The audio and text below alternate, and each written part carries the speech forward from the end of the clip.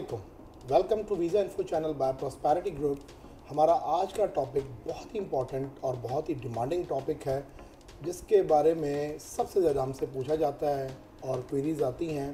तो आज हम इस इंपॉर्टेंट टॉपिक को डिस्कस करेंगे। इस टॉपिक में आज जिन चीज़ों पर हम बात करेंगे, उसमें सबसे पहले है व्हाट इज़ विज़िट वीज़ा कि विज़िट वीज़ा होता क्या है? सेकेंड हम बात करेंगे why to apply visit visa कि विज़िट वीज़ा अप्लाई किस किस मकसद से किया जाता है? Number three what are the documents required for visit visa कि विज़िट वीज़ा अप्लाई करने के लिए कौन से डॉक्यूमेंट्स इंपॉर्टेंट हैं जो रिक्वायर्ड होते हैं? नंबर फोर पर हम बात करेंगे डॉक्यूमेंट्स टू बी मेंटेन्ड कि कौन से डॉक्यूमेंट ऐसे हैं जिन्हें मेंटेन किया जा सकता है और करना ज़रूरी है? नंबर फाइव पर हम बात करेंगे visa officers review and number six पे बात होगी कि what if your visa is rejected और बैंड आपको क्या करना चाहिए? तो लेट्स स्टार्ट आर वीडियो तो सबसे पहले हम बात करेंगे what is visit visa visit visa क्या होता है? जैसा कि नाम से ज़ाहिर है कि आप किसी भी कंट्री में विज़िट करना चाह रहे हैं विज़िट का मतलब जाना चाह रहे हैं, देखने के लिए, घूमने के लिए, फिरने के लिए, किसी भी मकसद के लिए तो उस कंट्री में जाने के लिए जो परमिशन रिक्वायर्ड होती है जो डॉक्यूमेंटेड होती है, उसे हम विज़िट वीज़ा कहते हैं। अब विज़िट वीज़ा बहुत तरह से आपको मिलता है। ई वीज़ा भी होता है स्टैम्प्ड वीज़ा भी होता है स्टिकर वीज़ा भी होता है। हर कंट्री का विज़िट वीज़ा देने का अपना एक तरीका है। तो विज़िट वीज़ा किसी भी कंट्री में जाने के लिए आपको जो एक लीगल परमिशन रिक्वायर होती है, उसे विज़िट वीज़ा कहा जाता है। और विज़िट वीज़ा एक शॉर्ट टर्म बेसिस वीज़ा होता है, जिसके अंदर एक टाइम लिमिट मेंशन होती है। हाँ वो दस दिन हो, महीना हो, दो हो, चार हो छः हो, एक साल हो बट वो टाइम डिफाइंड होता है कि इतने अरसे का ये वीज़ा है और इतने अरसे में जो भी मकसद आपने बताया है उस कंट्री को या उस वीज़ा ऑफिसर को कि जी मैं इस मकसद के लिए आपके कंट्री में विज़िट करना चाह रहा हूँ, वो काम होने के बाद मैं वापस अपने कंट्री में आ जाऊँगा। ये परमानेंट नहीं होता परमानेंट स्टे के लिए नहीं होता। ये एक शॉर्ट टर्म बेसिस पर वीज़ा मिलता है।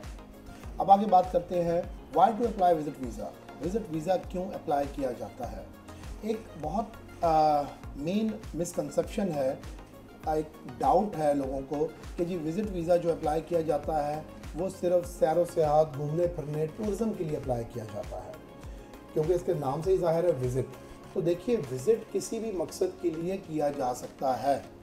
आप कहीं किसी शहर विज़िट करते हैं, आप घूमने फिरने के लिए भी कर सकते हैं आप वहाँ ख़रीदारी के लिए भी जा सकते हैं, किसी बिज़नेस मीटिंग के लिए भी जा सकते हैं। इसी तरह किसी कंट्री में जब आप विज़िट वीज़ा अप्लाई करते हैं it could be for many reasons उसकी बहुत सारी वजूहत हो सकती हैं।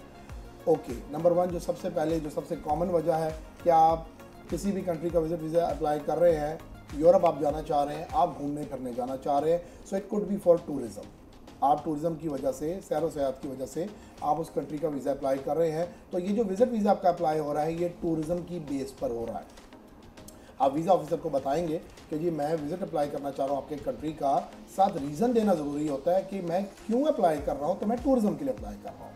दूसरा रीज़न हो सकता है मेडिकल रीज़न आप किसी कंट्री में डॉक्टर ने आपको यहाँ से रिकमेंड किया है कि आप फलां कंट्री में जाइए और वहाँ जाके अपना मेडिकल ट्रीटमेंट कराइए कोई सर्जरी करवाइए, कोई सेकंड ओपिनियन के लिए आप कोई बेस्ट हॉस्पिटल या डॉक्टर्स हैं, आप उन्हें जाके चेक करवाइए। तो आप मेडिकल रीज़न की बेसिस पर भी आप विज़िट वीज़ा अप्लाई कर सकते हैं। There is no medical visa कोई मेडिकल वीज़ा नहीं होता कि आप उसकी कैटेगरी में वीज़ा अप्लाई करें। तो आप विज़िट वीज़ा ही अप्लाई करते हैं बट रीज़न जो आप वीज़ा ऑफिसर को देते हैं, वो आप बताते हैं कि for this medical reason I am applying for the visit visa of your country आपके रिलेटिव्स किसी कंट्री में रहते हैं, आप किसी फ्यूनरल पर जाना चाह रहे हैं, आप किसी सेरेमनी पर जाना चाह रहे हैं, आप किसी सेलिब्रेशन किसी हॉलीडेज़ पर आप जाना चाह रहे हैं तो तो उसका रीज़न होगा फैमिली विज़िट तो आप अप्लाई विज़िट वीज़ा ही करेंगे, लेकिन आप वीज़ा ऑफिसर को कन्विंस करेंगे कि माई फैमिली इज़ देयर और ये उसके सारे प्रूफ्स हैं और मैं इस फ्यूनरल पर या इस सेलिब्रेशन पर या इन हॉलीडेज़ पर या मेरा कोई रिलेटिव डेथ बेड पर है उसे देखने के लिए मैं जाना चाह रहा हूँ और मैं अप्लाई विज़िट वीज़ा कर रहा हूँ। आप विज़िट वीज़ा किसी बिज़नेस पर्पज़ के लिए भी अप्लाई कर सकते हैं।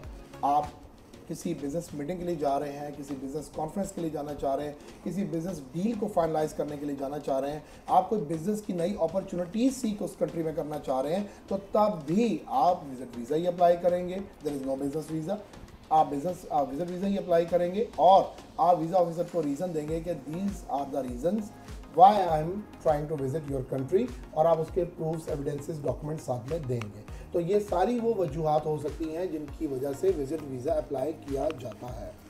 अब डिस्कस कर लेते हैं इसमें सबसे मेन और इंपॉर्टेंट टॉपिक वो है documents required to visit visa आप ये देख रहे होंगे कि हम किसी कंट्री का नाम नहीं ले रहे। हम जस्ट विज़िट वीज़ा की बात कर रहे हैं। Visit visa for any big country big country का मतलब ये कि वो कंट्री जहाँ का विज़िट अप्लाई करने के लिए आपको ढेरों डॉक्यूमेंट्स की रिक्वायरमेंट होती है। यहाँ कतन हम बात उन कंट्रीज़ की नहीं कर रही जो इजी कंट्रीज़ हैं, जहाँ पर इतने ज़्यादा डॉक्यूमेंट्स रिक्वायर्ड नहीं होती लाइक दुबई कतर आज़रबाईजान तो यहाँ पर थाईलैंड वगैरह, आप बगैर इतने ढेरों डॉक्यूमेंट्स के आप अप्लाई कर सकते हैं वीज़ा भी ले सकते हैं और आप जाकर अपना जो भी पर्पज़ है वो पूरा कर कर वापस अपनी कंट्री में आ सकते हैं। यहाँ हम स्पेसिफिकली बात कर रहे हैं अबाउट द बिग कंट्रीज़ जैसे यूएस है यूके है कनाडा है ऑस्ट्रेलिया है शेंजन कंट्रीज़ हैं, जो इजीली वीज़ा नहीं देते, जिनका एक सेट ऑफ़ डॉक्यूमेंट्स रिक्वायरमेंट होती है और प्रॉपर ऑर्गेनाइज ऑथेंटिक डॉक्यूमेंट्स जब तक ना हो वीज़ा ऑफिसर को जब तक आप कन्विंस ना करें तो it's very difficult to get the visa तो हम उन स्पेसिफिक कंट्रीज़ के डॉक्यूमेंट्स रिक्वायरमेंट की बात कर रहे हैं। तो मेन डॉक्यूमेंट्स जो ऑलमोस्ट तमाम कंट्रीज़ के 19-20 के डिफरेंस के साथ बराबर ही होते हैं। ऑलमोस्ट यही डॉक्यूमेंट्स रिक्वायर्ड होते हैं। कहीं थोड़ा बहुत डिफरेंस ज़रूर हो सकता है but the major list of all these documents requirement is this जिसमें सबसे पहले ट्रैवलिंग डॉक्यूमेंट आपका रिक्वायर्ड है, जिसे हम पासपोर्ट कहते हैं। ऑलमोस्ट तमाम कंट्रीज़ में आप विज़िट वीज़ा जब अप्लाई करते हैं तो आपका पासपोर्ट की जो एक्सपायरी है, कम अज़ कम सिक्स मंथ्स एंड अबव होनी चाहिए। छः महीने के अंदर अंदर आपका पासपोर्ट एक्सपायर ना हो रहा हो। उसके बाद आपका वैलिड सी एन रिक्वायरमेंट होता है।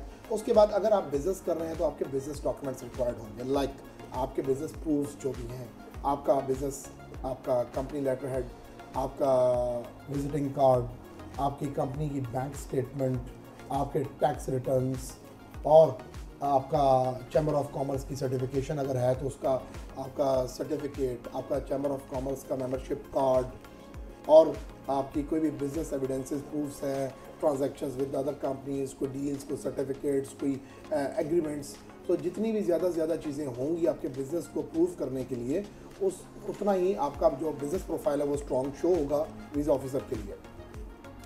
अगर आप बिज़नेस नहीं कर रहे, आप जॉब कर रहे हैं तो फिर आपके जॉब रिलेटेड सारे डॉक्यूमेंट्स एंड एविडेंसेस रिक्वायर्ड होंगे लाइक आपका जॉब अपॉइंटमेंट लेटर आपका ऑफ़र लेटर आपका कोई भी कंपनी के साथ एग्रीमेंट जो हुआ हुआ है, वो चाहिए होगा। आपकी सैलरी स्लिप्स चाहिए होंगी, कुछ कंट्री थ्री मंथ्स की रिक्वायर करते हैं, कुछ फोर की, कुछ सिक्स की रिक्वायर करते हैं। उसके बाद आपकी कोई अचीवमेंट्स उस कंपनी में हैं, कोई अवार्ड्स हैं कोई सर्टिफिकेशंस हैं, ये सारी चीज़ें आपकी रिक्वायर्ड होंगी। आप जितने दिनों के लिए जाना चाह रहे हैं, उसका एक एनओसी नो ऑब्जेक्शन सर्टिफिकेट आपके एम्प्लॉयर से रिक्वायर्ड होगा कि आप वो अलाउ कर रहे हैं इतनी लीव्स उस कंट्री में इस पर्पज़ के लिए, इतने दिनों के लिए जाने के लिए। तो ये आपके जॉब एंड बिज़नेस से रिक्वायर्ड डॉक्यूमेंट्स हो गए। उसके बाद आपके एजुकेशनल डॉक्यूमेंट्स जो भी आपकी अचीवमेंट्स आपके सर्टिफिकेशन आपकी डिग्रीज़ हैं, उनके डॉक्यूमेंट्स आपके रिक्वायर्ड होंगे। उसके बाद इफ़ यू आर मैरिड तो आपके मैरिटल स्टेटस का प्रूफ चाहिए, आपके बच्चे हैं तो उनके बर्थ सर्टिफिकेट्स चाहिए स्कूल गोइंग है तो उनके स्कूल के लेटर्स एज अ प्रूफ चाहिए। उसके बाद आपकी F R C family registration certificate जिसे कहते हैं, वो चाहिए। आपकी M R C marriage registration certificate if you are married तो वो भी चाहिए।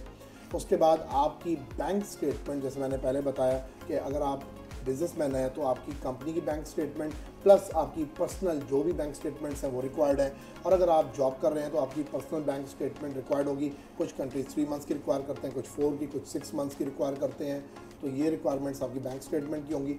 इसके अलावा आपकी कोई एसेट्स एंड प्रॉपर्टीज़ हैं लाइक आपके अपने नाम पर कोई प्रॉपर्टी है, कोई प्लॉट्स हैं, कोई रेजिडेंशियल कोई कमर्शियल कोई लैंड है, आपके नाम पे एसेट्स में हम आपको गाड़ी है, कोई एनी अदर इन्वेस्टमेंट्स उनके जो भी एविडेंसेस हैं प्रूफ्स हैं, वो साथ रिक्वायर्ड होंगे।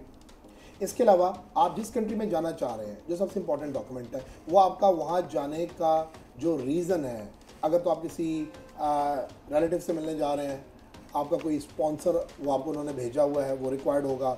आप किसी बिज़नेस पर्पज़ पे जा रहे हैं तो वहाँ से कोई इन्विटेशन है किसी सेमिनार का कॉन्फ्रेंस का कोई बिज़नेस इन्विटेशन है, वो रिक्वायर्ड होगा। अगर आप मेडिकल पर्पज से जा रहे हैं तो जिस हॉस्पिटल में जा रहे हैं, जिस ट्रीटमेंट के लिए जो आपकी अपॉइंटमेंट्स वहाँ पर हुई हुई हैं, जो जो भी एविडेंसेस हैं, वो डॉक्यूमेंट्स सो पर्पज़ जो भी आपका उस कंट्री में जाने का है, उससे रेलिवेंट वो जो डॉक्यूमेंट है, चाहे वो इन्विटेशन है स्पॉन्सर है, वो रिक्वायर्ड होगा। ऑलमोस्ट यही सारे डॉक्यूमेंट्स हैं जो रिक्वायर्ड होते हैं। विज़िट वीज़ा किसी भी कंट्री का अप्लाई करने के लिए, इनमें उन्नीस पीस का डिफरेंस हो सकता है but almost these are the documents mainly required for any big country अब बात कर लेते हैं अगले टॉपिक की कि कौन से ऐसे डॉक्यूमेंट्स हैं जिन्हें मेंटेन किया जा सकता है और करना ज़रूरी है to get the visit visa of any big country अब कुछ डॉक्यूमेंट्स ऐसे हैं जो आप मेंटेन नहीं कर सकते। लाइक like आपका एफआरसी है, जो फैमिली ट्री है आपका चल रहा है, वो, वही शो होगा। एमआरसी है, वही शो होना है। पासपोर्ट आईडी कार्ड आप चेंज नहीं कर सकते। एजुकेशनल डॉक्यूमेंट्स, जो एजुकेशन है, वही है, उसको चेंज आप नहीं कर सकते। एसेट्स प्रॉपर्टीज़ अगर हैं तो आप वही शो करेंगे, आप उसको फोज नहीं कर सकते। तो जो डॉक्यूमेंट्स आपको मेंटेन करने चाहिए और जो आप कर सकते हैं, वो दो इंपॉर्टेंट डॉक्यूमेंट्स हैं, दो इंपॉर्टेंट चीज़ें हैं, जो सबसे इंपॉर्टेंट फैक्टर्स हैं किसी भी कंट्री का, बड़े कंट्री का वीज़ा अप्लाई करने के लिए और वीज़ा अप्रूव कराने के लिए। जिसमें सबसे इंपॉर्टेंट आपकी ट्रैवलिंग हिस्ट्री अगर आपकी ट्रैवलिंग हिस्ट्री बिल्कुल ज़ीरो है और आप अप्लाई करना चाह रहे हैं किसी बिग कंट्री के लिए तो आपको मैं बता दूँ कि it is very difficult market में बहुत सारे शोशे चल रहे हैं। बहुत सारे I would say Dramebaaz type के लोग हैं सोशल मीडिया पे जो लोगों को मिसगाइड कर रहे हैं कि जी fresh passport fresh passport fresh passport जो ये फ्रेश पासपोर्ट कह रहे हैं मैं आप लोगों से चैलेंज करता हूँ कि एक सैंपल केस फ्रेश पासपोर्ट का लेकर ज़रूर उनके पास जाइए और उन्हें कहिए, जी फ्रेश पासपोर्ट है, मुझे इस पर वीज़ा दें और गारंटी दें कि वीज़ा लगेगा। वहाँ पर वो जवाब देंगे, जी गारंटी नहीं होती है। क्यों? कि उन्होंने हज़ार लोगों का अप्लाई करना है, किसी एक का फ्रेश पासपोर्ट में वीज़ा लगना है। देखें, तुक्के मुआवजे मेरिकल्स तो होते रहते हैं। मैं नहीं कह रहा कि कभी नहीं लगता, लेकिन why to go for a option जिसके अंदर आपका जो रेशो है, जो चांसेस है, बहुत लो हो। सौ में से या दो सौ में से किसी एक का लग जाना अगर पॉसिबल है तो क्या आपको अप्लाई करना चाहिए? आर यू दैट लकी कि उस 200 100 के नंबर में आप ही का वीज़ा लगेगा फ्रेश पासपोर्ट के ऊपर? So the chances are very rare बहुत रेयर होते हैं। और उसके अंदर भी कई बार ये होता है कि पासपोर्ट फ्रेश है, लेकिन बाकी फैक्टर्स स्ट्रॉन्ग होते हैं, जिनकी बेस पर वीज़ा लग जाता है। लाइक मेरा पासपोर्ट फॉर एग्जांपल अगर फ्रेश है, मैंने कहीं का आज तक दुनिया में ट्रैवल नहीं किया बट मेरी फाइनेंशियल इतने स्ट्रॉन्ग है, मेरी क्लोजिंग बैंक स्टेटमेंट इतनी बड़ी है, इतना फंड्स मेरे पास पड़े हैं, मेरे एसेट्स प्रॉपर्टी इतनी है कि वीज़ा ऑफिसर को ये कॉन्फिडेंस है कि भाई ये बेशक कहीं पर गया नहीं, लेकिन ये कहीं जाएगा तो ये वापस ज़रूर आएगा, इसको तो यहाँ पर इतना कुछ पड़ा हुआ है, ये वहाँ पर भाग कर, या हमारे कंट्री में गायब होकर क्या करेगा? सोशल मीडिया पे 99 परसेंट जो फ्रेश पासपोर्ट की कहानी सुनाई दे रही होती है, वो एक तो फ्रॉड है। वन परसेंट सच है और उस सच में भी 99 परसेंट झूठ है।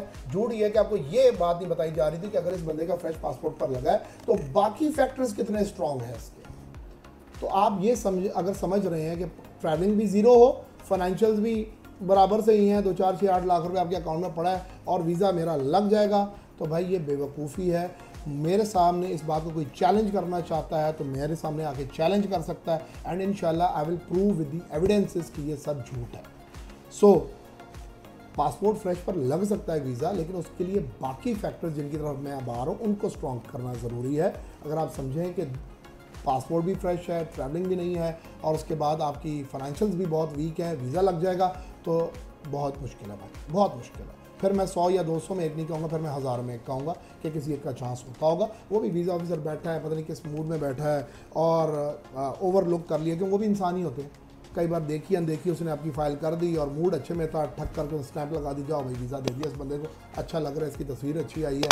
बंदा मुझे मुनासिब लग रहा है एम दे दिया तो वो बहुत रेयर है। उस ऑप्शन पर आप ना जाए ठीक है जी? तो जो डॉक्यूमेंट्स जिन्हें मेंटेन किया जा सकता है, एक ट्रैवलिंग हिस्ट्री जिसके बारे में आपको बता रहा हूँ कि अगर बिल्कुल ज़ीरो है तो ये जो छोटे मोटे कंट्रीज़ हैं, करीब के आपके जहाँ इतने एक्सपेंसेस है, ना मुश्किल नहीं है, ना ज़्यादा मुश्किल है वीज़ा लेना। लाइक दुबई है कतर है थाईलैंड है आज़रबाईजान है। उसके बाद थोड़ा सा डॉक्यूमेंट्स रिक्वायरमेंट सा टर्की आ जाता है। तो अगर आप इन कंट्रीज़ का दो तीन कंट्रीज़ का ट्रैवल कर लेते हैं so that will be add on to your profile आपके प्रोफ़ाइल को ये बूस्ट करेगा स्ट्रॉन्ग कर देगा। दूसरी चीज़ जिनको मेंटेन करना ज़रूरी है, वो होती है बैंक स्टेटमेंट बहुत बड़ा मिसकंसेप्शन है कि जी, मेरा बैंक अकाउंट है, पाँच छः महीने से ज़ीरो ट्रांजेक्शन है, ना कुछ आ रहा है, ना कुछ जा रहा है। सर, पैसे कितने रिक्वायरमेंट होते हैं जी? दस, बीस लाख रुपये अकाउंट में सर, मैं पचास लाख रुपये रखवा दूँगा।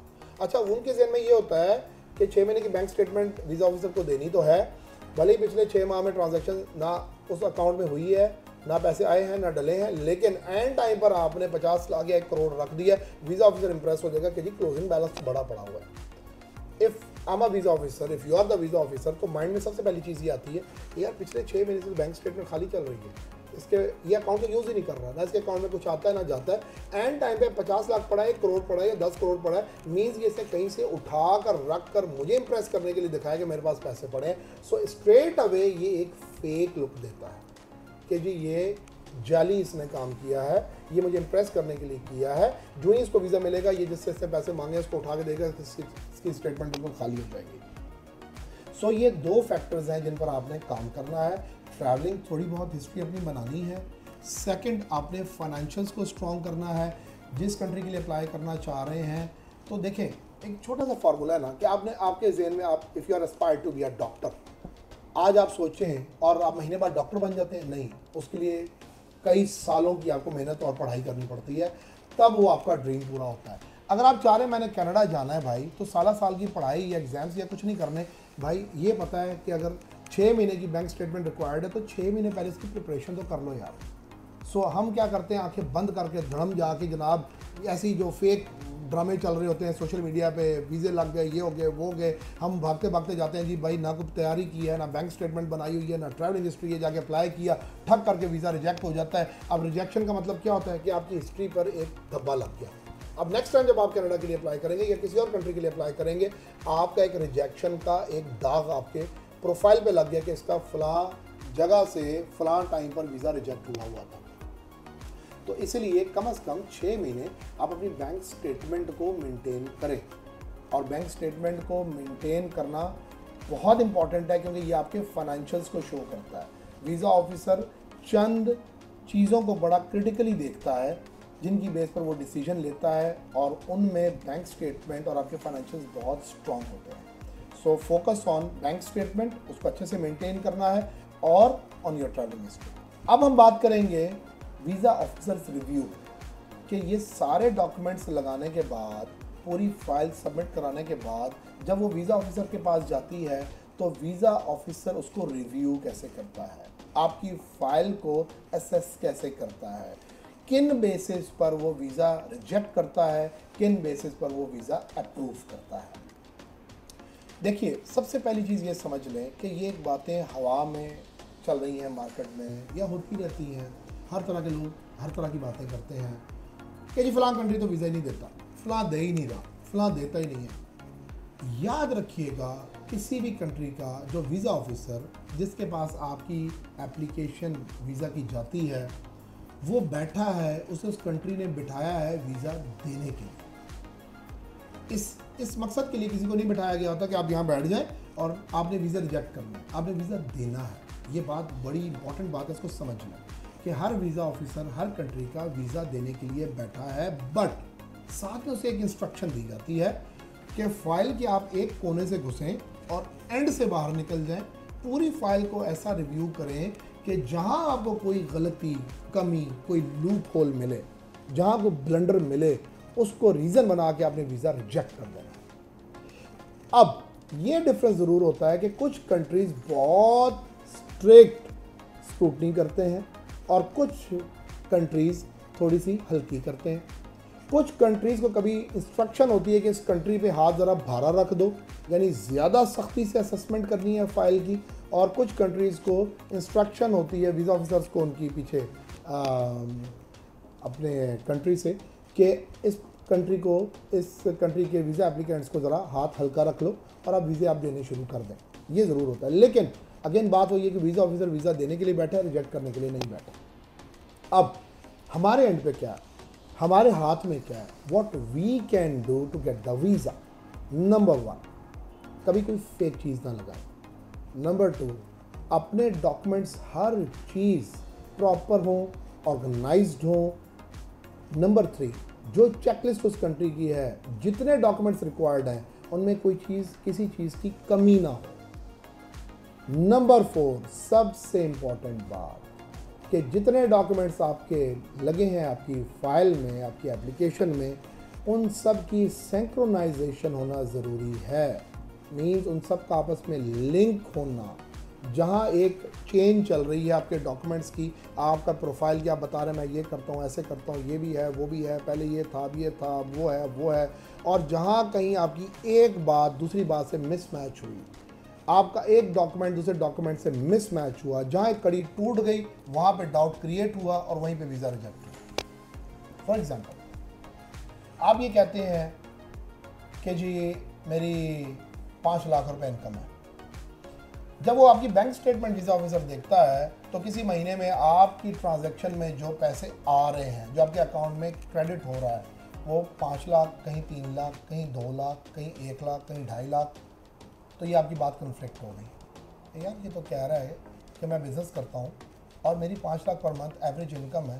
कहीं चलो बिज़नेस के अंदर सेम अमाउंट नहीं होती, लेकिन पाँच एवरेज का मतलब ये है, कहीं साढ़े चार, कहीं पाँच, कहीं छः सात, ऐसे चल रही होनी चाहिए। तो कहीं लाख है, कहीं ज़ीरो है, कहीं है ही नहीं है, कहीं तीन है, कहीं दो है तो ये झूठ बोल रहा है, इसकी बातें मैच नहीं कर रही, इसके जाने का पर्पज़ गलत लग रहा है। ये गलत मकसद से जाना चाह रहा है, ये जाएगा और वापस नहीं आएगा। जैसे कि मैंने आपको बताया कि वीज़ा ऑफिसर को इंस्ट्रक्शन है कि उसने पूरी असेसमेंट करनी है बारीकी से और देन डिसाइड करना है। उस पूरी असेसमेंट के अंदर जो उसका पर्पज़ होता है, वो सिर्फ़ एक होता है। आपके पूरे डॉक्यूमेंट्स को ए टू जी छांटने के बाद वो इस नतीजे पे पहुँचता है कि क्या ये बंदा हमारे कंट्री जिस मकसद के लिए बता रहा है, जाकर अपना काम करके वापस आएगा या नहीं आएगा? जहाँ से ये डाउट हुआ कि ये जाएगा और ये जाने का मकसद झूठ बता रहा है, ये वापस नहीं आएगा, वहाँ पर उसको थ्रेट फील होगा, ये बंदा गलत है और वो आपका वीज़ा रिजेक्ट कर देगा। सो वीज़ा ऑफिसर को जो कन्विंस करना है, वो आपने अपनी डॉक्यूमेंटेशन से, उनके प्रॉपर ऑर्गेनाइज होने से और उनका आपस में सेक्रोनाइजेशन करने से आप उसे कन्विंस कर सकते हैं। सो इन चीज़ों का आपने बहुत ख्याल रखना है। अब एग्जांपल ले लें आप, एक जॉबियन की, एक बंदा ये प्रूव कर रहा है, बता रहा है कि मैं जॉब कर रहा हूँ और वो कह रहा है कि जी, मेरी सैलरी जो पर मंथ जो मैं ड्रॉ कर रहा हूँ, वो सत्तर हज़ार रुपये अब जब उसकी बैंक स्टेटमेंट उठा के देखी जाए तो उसके अंदर सैलरी आ रही है पचास हज़ार, कभी चालीस हज़ार, कभी पैंतीस हज़ार, कभी अस्सी हज़ार तो वो भी मिसमैच हो रही है। बिज़नेस के अंदर तो चले, आपकी एवरेज इनकम पर मंथ हो सकती है, पर जॉब बेस्ड बंदे की ये कभी भी एवरेज नहीं हो सकती। उसके अंदर अगर तो आपकी सैलरी प्लस इंसेंटिव्स हैं बोनसेस हैं तो जो बेसिक सैलरी है वो तो मस्ट आपकी, आपके अकाउंट में ट्रांसफ़र हो रही होनी चाहिए। तो जिस डेट की आपकी सैलरी स्लिप्स हैं, उसकी डेट को वो बैंक स्टेटमेंट के साथ देख रहा होगा मैच करके, क्या इस, इतनी अमाउंट इसके अकाउंट में आ रही है क्या नहीं आ रही है। सो so ये वो चीज़ें हैं जिन्हें आपने वीज़ा ऑफिसर की नज़र से देखना है कि अगर I am the visa officer and I am going through this file तो मैं क्या क्या नुक्स निकालूँगा? जब आप ये देखेंगे you will put yourself in his shoes तो आपको समझ आएगा कि कितनी बारीकी से चीज़ों को देखा जाता है और आपको किन किन चीज़ों का ख्याल रखना है। और जो लास्ट हमारा टॉपिक है, वो है what if your visa is refuse और बैन आपने वीज़ा एप्लीकेशन सबमिट कराई। दो ही काम होने हैं। या वीज़ा लगना है या वीज़ा रिफ्यूज़ होना। लग गया तो वाह वाह बहुत मुबारक हो आपको इन एडवांस लेकिन अगर रिफ्यूज़ हो गया अब क्या है? सो so, हर बार मैं ये एक बात करता हूँ that is not the end of the world visa refuse हो गया कुछ कंट्रीज़ बहुत अच्छे हैं जो आपको डिटेल्ड में रीज़न्स देते हैं रिफ्यूज़ल के।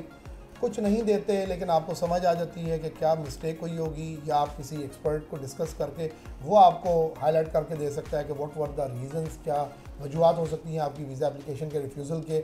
आप उन्हें ओवरकम करें, उन वीक एरियाज़ पर काम करें, उन चीज़ों को इम्प्रूव करें, और यू कैन अप्लाई अगेन अब ये तो हो गई बात उस सिचुएशन में कि आपका वीज़ा रिफ्यूज़ हुआ है, कि you always have the doors open आप ऐसा कभी ना करें, कि यहाँ वीज़ा रिफ्यूज़ हुआ और उसी प्रोफ़ाइल के साथ ठक करके अप्लाई कर दिया।